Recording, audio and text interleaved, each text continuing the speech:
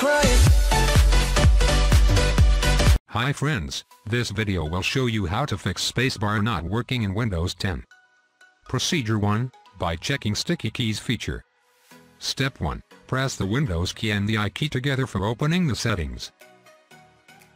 Then, continue scrolling down and you will find the ease of access.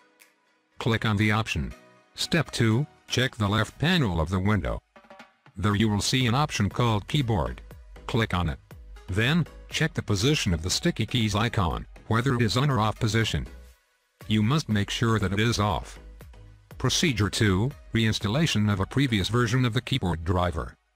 Step 1, press the Windows key and the alphabet X together for opening the menu of Quick Access. After that, click on the option Device Manager for opening it.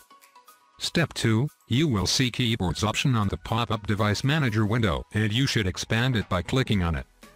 You should choose Properties by using the right-click button on the keyboard option. Step 3, after choosing the option driver on the top array of options, click on the option Rollback driver.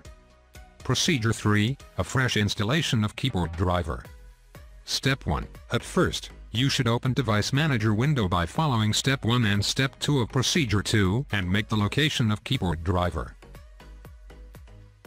Step 2, with the help of right-click on keyboard driver, you will choose Uninstall device. Step 3, for the reinstallation of keyboard driver, you will have to reboot Windows 10.